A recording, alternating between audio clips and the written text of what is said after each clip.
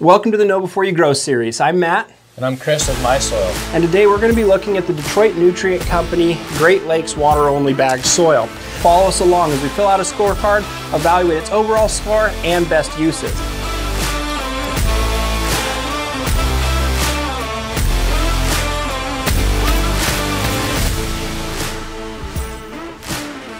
Let's go ahead and dive right into the price. When we compare the price point, which was $37.99 per cubic foot, against our chart, we come out to a score that's just a solid two. So this is on the higher end of what we've paid for several soils, uh, but let's go ahead and see how it smells, looks and feels, and overall performs. So Kris, as you open that bag, what smells are hitting you?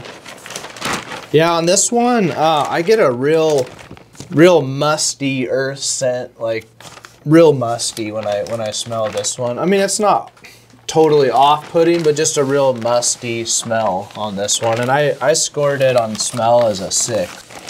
Yeah, Kris called it musty, I think, and it's kind of just like a decomposing wood smell to me.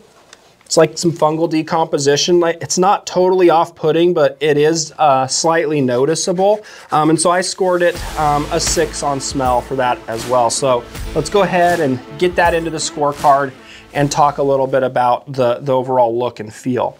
Now, one of the things I notice is there's a pretty good variety of different sizes of, of woody material in here. Um, the perlite that's mixed in is pretty small and, and uh, really well distributed. Those are some of my notes on look and feel, and that led me to a score of about six and a half. Kris, did you have anything to add?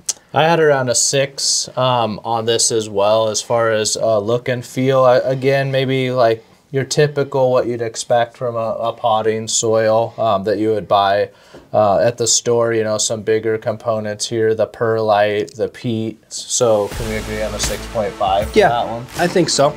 So we're at a six on smell, we're at a six and a half on look and feel. What did the soil nutrition look like here, Kris? Yeah, so we went ahead and did a my soil test on uh, this soil before we ever planted the plants. Uh, we evaluated those nutrient levels before we saw the grow out. Uh, nutrient levels for this soil were actually uh, pretty good. Uh, all our macronutrients were at or above the optimal range. You know, a lot of them were pretty high on the optimal range. We are a little low on our micronutrients, which is typical across a lot of the potting mm -hmm. soils that we see.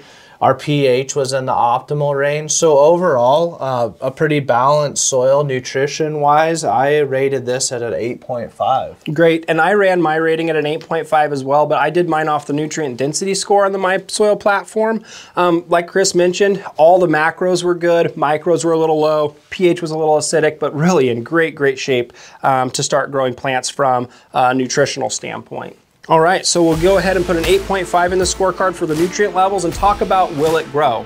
Now, will it grow tomatoes? Absolutely. These tomatoes look great. They did get a little leggy. Um, we have this one um, propped up or staked up a little bit um, because we got really rapid growth, probably tied to the high nitrogen levels.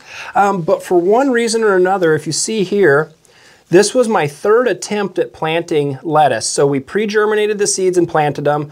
Those grew up, died replanted them, died, replanted them, and that's where we are here. So for one reason or another, and it's not a nutritional issue, we just didn't have a lot of success uh, growing our lettuce here. So I had to drop the Will It Grow score down um, for me to a seven and a half. Yeah, so for Will It Grow, I had it at a 7.5 as well. And as Matt mentioned, for some reason, the, the leafy greens, the lettuce really struggled in this soil. So overall, give it a 7.5 for Will It Grow. That leads us to an overall rating of 6.1. Again, the tomatoes performed great.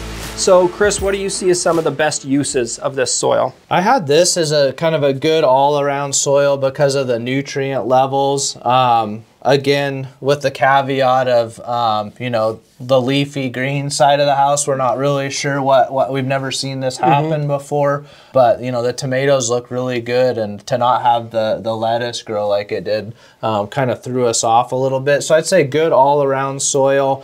Um, a good addition for organic matter potentially in a native soil, although it is on the high end for the price uh, to value for adding organic to a native soil. Sure, and I had the same the same note. If I had a small native soil garden, I wouldn't hesitate to add this to it and, and incorporate it, especially because of those nutrition levels.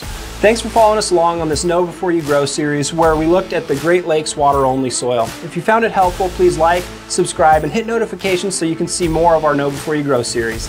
As always, we'll look forward to seeing you again soon in the lab.